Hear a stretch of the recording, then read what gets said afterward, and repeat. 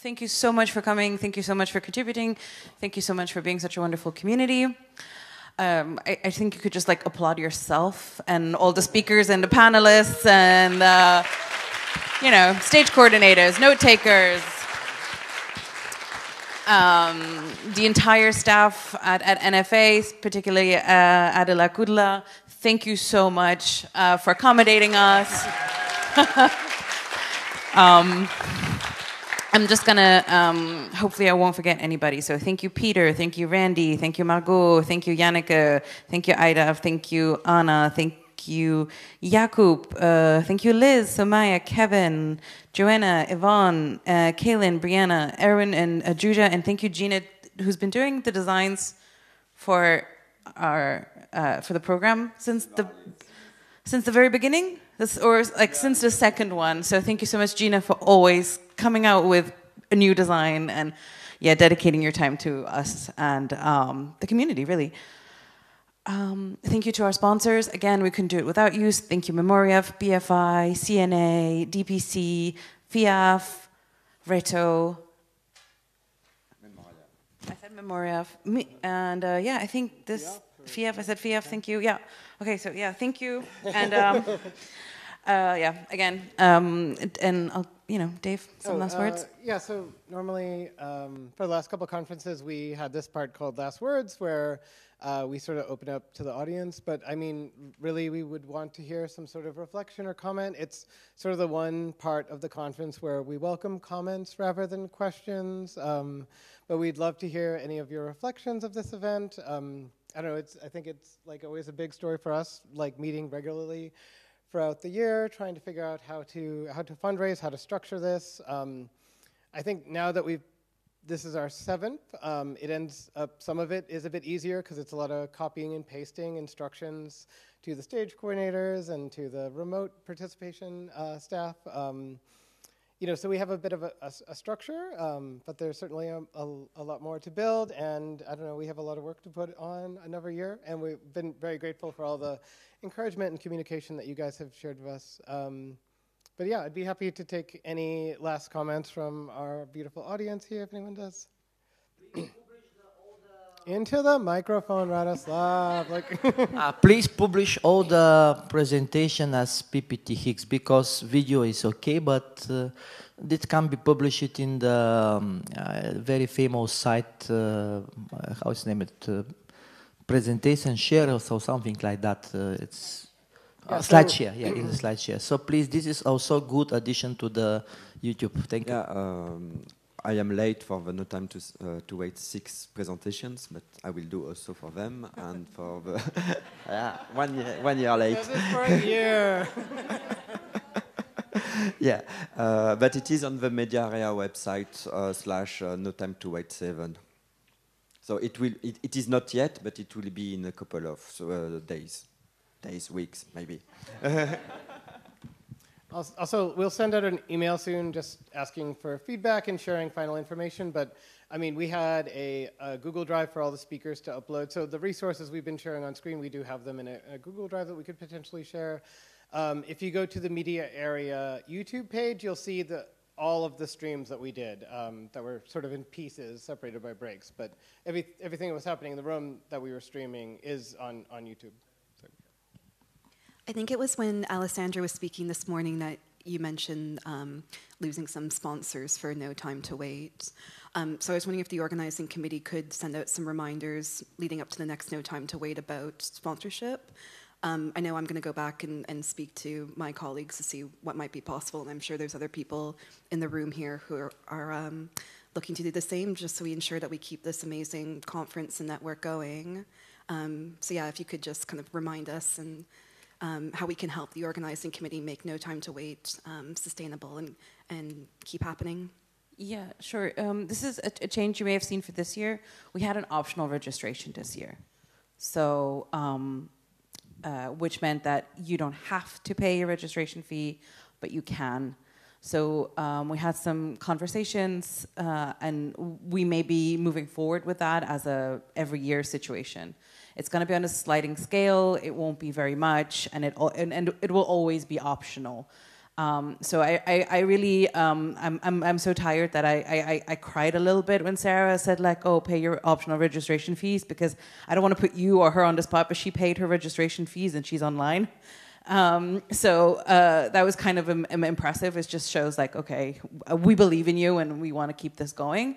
Um, so you will see this uh, this change probably implemented for the long for, for, the long run. We weren't sure, to be honest, if we wanted to do an optional registration because we proud ourselves about providing um, this conference for free and, and, easy access, but we have to remind ourselves culture is not free, even though it may be free in terms of, you know, getting free cinema tickets or accessing sites and and, and, and web pages and, and cultural heritage, et cetera, et cetera. But culture isn't free, and we have to also kind of stop that narrative. So we have to also value our work and your work, and there is a price tag attached to it, whether we see it or not. So um, we'll move forward with an optional registration fee, as I said, on sliding scales and really optional and very low. Um, I would often think so much about um, the presence of, of, gatekeepers in communities um, when trying to learn and trying to build community. But so I was, you know, also really motivated to have a free registration just to make sure that it's not going to be $400 or $300 to be here. Um, but I don't know. I was reflecting on this um, during the walk to dinner last night while in a conversation um, you know, that if we offered something that's like a sliding scale that includes free, but includes other positive numbers, um, that we could potentially support more travel grants and support more of the community to be here. This year we um, were able to have, you know, nearly half of our budget went towards travel grants, which I think we feel terrific about, and so happy for the other sort of voices and people who can participate. Um, so I know, it's been interesting to me to reflect on potentially having a fee to pay could help, you know, further reduce gatekeeping by helping us support others in, in getting here. Because a lot of us, our employers are paying for us, but a lot of us are just paying for ourselves or needing assistance. Um, yeah. Um, thank you again for yet another year. I've been very fortunate enough to be able to attend like many times now. And so my question was, um, I'm just curious if you done any sort of analysis as to like the trajectory over the years, like in terms of like you know how many people are attending, how many different countries or institutions are represented, how many people are, are participating online versus in person. I'm just really curious if you have a sense of that. Um, we have all the data, but we don't do statistics with that. Um, I would say it, more, more generally it is half US, half Europe. So it is good that uh, half of the attendees here, not, not really half, but not far, come from the US. Thank you. It is a long travel. And one Mexican. Well, and, and last year uh, there was uh, also some uh, representative from Latin America. So um, uh, there was uh, also uh, this year one or two people from Africa. So so it is more international now, but it is the first time. Um, the countries, um, not a lot of France, it is curious, but a uh, lot of Germany. no. There's one. There is a lot of French people, but not from uh, French institutions. Oh, okay. um, and uh, the number, yeah, we, we are usually between uh, 70 people and 130 uh, maximum. Uh, after COVID, it was a bit low, so the time to restart and everything.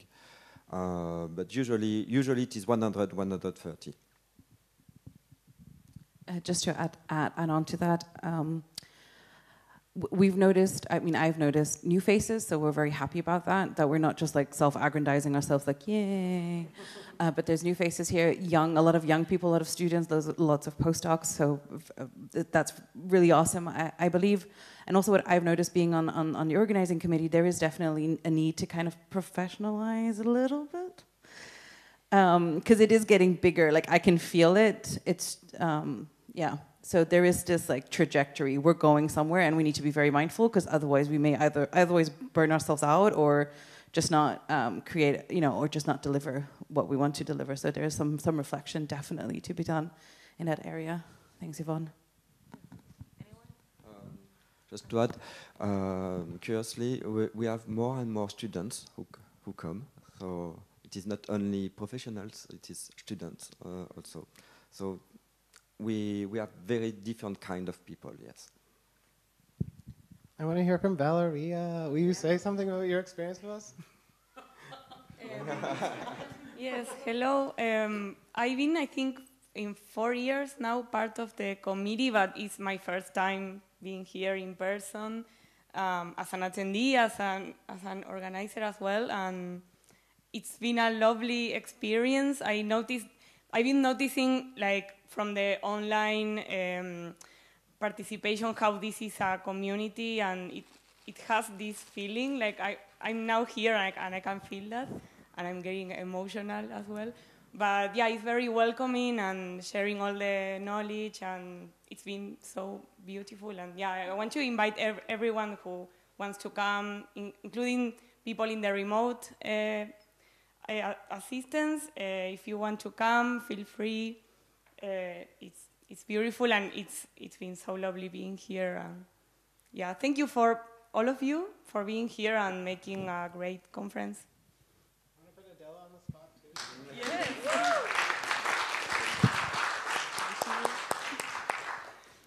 Uh, so for me, it's like this has been a terrific experience working with these people and being able to host you in the Na- Národní filmový archiv. Um, and what I'm especially thankful about, uh, so this is my third No Time to Wait uh, in attendance. And I always find it uh, very inspirational, and also for um, the multitude of um, information and standards and everything. It is very helpful to hear it with your own ears, to see the people that are behind. So, uh, thank you for that. And that's actually kind of everyone's job here to share, I guess. This is my topic, I like it. yeah, so uh, thank you to the community and thank you to the committee. It's been pleasure to be part of use for one year.